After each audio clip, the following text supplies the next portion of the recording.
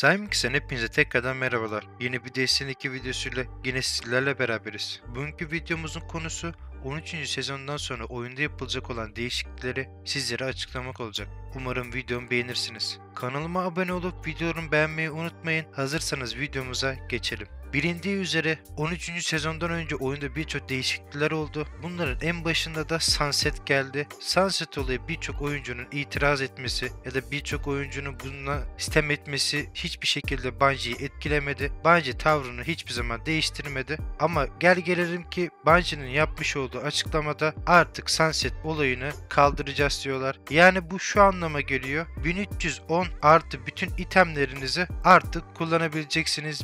1310'dan düşük olan itemler hepsi eskisi gibi Sunset'te kalacak. Yani bu da Mountain Top ve Rectus'u yine aynı şekilde kullanamayacağımız anlamına geliyor. Tabi Survivor'da kullanabilirsiniz. Sonuç itibariyle yine bir sıkıntı yaratmıyor size. Ama dediğim gibi Sunset olayı kaldırılıyor. Artık itemleriniz sınırsız bir şekilde yükseltebilirsiniz. O tabi sezonun light'ı kaçsa o kadar yükseltebilirsiniz. Böylelikle bu yapmış oldukları değişiklik gerçekten çok hoş, güzel. En başta yapmaları gerekiyordu ama onlar da haklıydı. Sonuçta 3 kafa item var. Bunların en başında Mountain Top, ondan sonra Rectus, ondan sonra Anarşi giriyor. Raid mi döneceksin? Mountain Top Anarşi. Vanguard mı gireceksin? Mountain Top Anarşi. Yani PvE'de nerede oynarsan oyna her şeyi Mountain Top Anarşi ile oynuyordun. Adamlar da haklı olarak Sunset olayını getirmek zorunda kaldılar. E, farklı bir şey de yapabilirlerdi Sunset'ten daha farklı bir şey. Ama Sunset'i getirmeyi düşündüler. Böylelikle Mountain Top Rectus ikilisini ortadan kaldırırız diye düşündüler. E, böylelikle de kaldırmış oldular. Çünkü bence birçok silah getiriyor oyuna.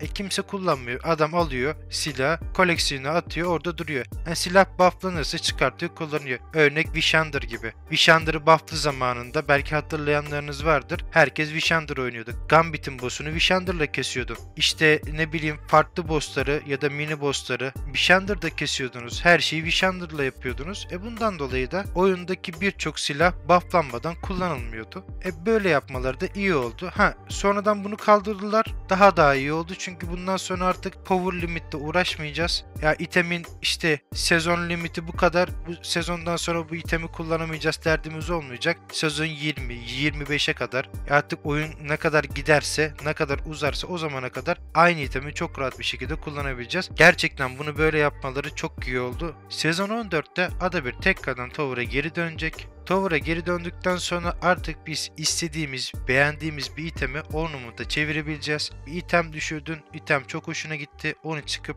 ornament'a dönüştürebileceksin. Tabi bunu yapabilmen için de adı bir de bulunan haftalık bounty'ler alman lazım. Bounty'ler sayesinde bunu yapabileceksin. Çünkü sana bounty'ler transmog için gerekli malzemeleri verecek. Bakalım gelince göreceğiz nelerin değiştiğini, nasıl olduğunu. Sezon 14'te World of Class gelecek.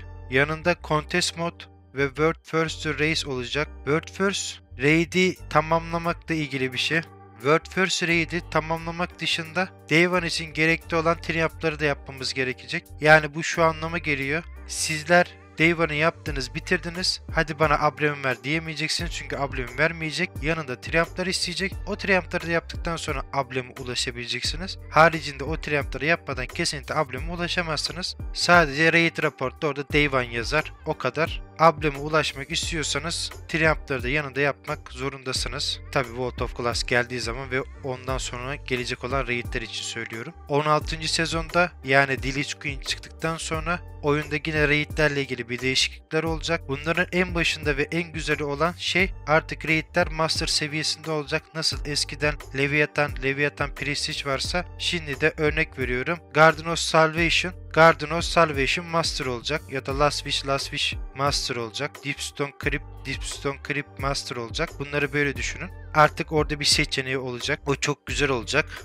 bence oyuna farklı bir hava katacak. Tabi bu Lich Queen'den sonra çıkacak. Ve şöyle bir yenilik getiriyorlar. Raid'i Master seviyesinde bitirdiğin zaman sana o raid'e özel adept versiyonu silahlar verecek. Adept versiyonu kıyafetler verecek. Sadece o Raid Master bitirenler o adet versiyonu silah ve armorlara ulaşabilecekler yani kıyafetlere ulaşabilecekler. Bu da ayrı bir hava katıyor oyuna. İnşallah dediklerini yaparlar da böyle olur. İnşallah Master seviyesini yaptığımız zaman da adet versiyonu silahlar ve armorlar güzel şekilde olur da biz de onları kullanabiliriz diye düşünüyorum. Tabi bakalım ileride Dilish Queen'den sonra neler değişecek göreceğiz. 14. sezon ve The Witch Queen'den sonra Aykore'ye rol verilecek. Yani önümüzdeki sezon artık Aykora'nın bir rolü olacak ve Dilish Queen'de de Aykora'nın bir rolü olacak. Zaten bundan önceki güncelleme notlarında kendileri de söylemişlerdi. Zavala, Lord Shax, Drifter'dan ve yanındaki bir tane NPC diyorlardı ki onun ismini açıklamamışlardı.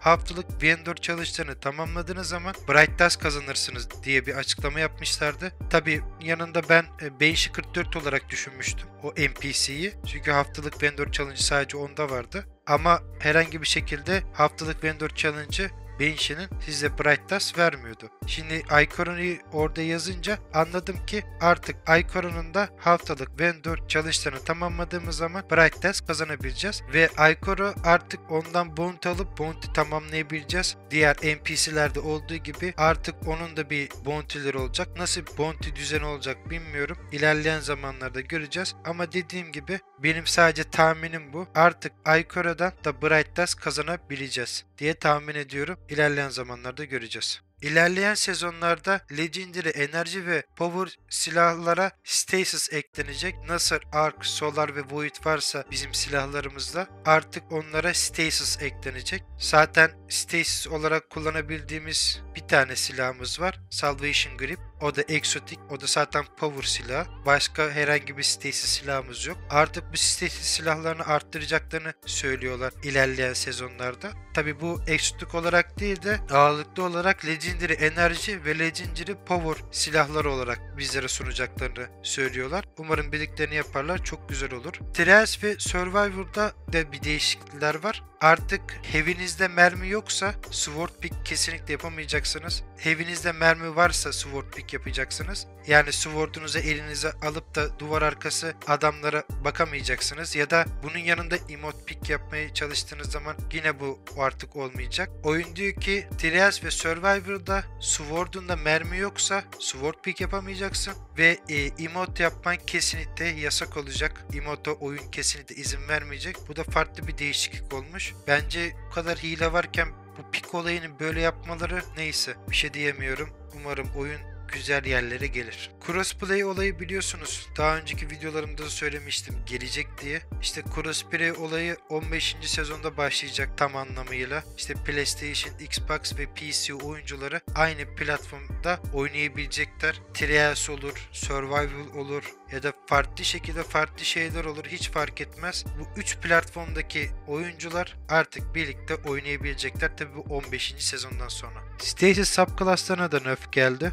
Titan'ın Behemoth'una süperdeyken az hasar yeme olayı azalacak. Artık eskiye göre daha fazla hasar verilebilir olacak. Yani Titan Stasis süperini açtığı zaman eskiye nazaran biraz daha fazla damage yiyebilecek. Süperi açık bir Titan'ı rahat rahat öldürebileceğimiz anlamına geliyor. Süper aktivite edildiğinde yanındaki düşmanların dondurulması kaldırılacak. Biliyorsunuz süperini açtığı Titan direkt yanındaki insanlar donuyordu. Artık kimse donmayacak. Onu komple kaldırıyorlar. Revenant Hunter'da da bir değişiklikler olacak. Winter Blaze hasarı düşecek ve Tranking hasarı da azalacak bununla birlikte. Hedeflere verilen slow etkisi steklenmesi azalacak. Shatter Dive attığımız zaman hasar azalması ortadan kaldırılacak. Shade Bender Warlock'ta ise süper ve yakın dövüş yeteneklerindeki tracking bug'ları fixlendi. Artık düzeltildi. Warlock tarafında da bu kadardı. Genel olaraksa kristallerin patlama hasarı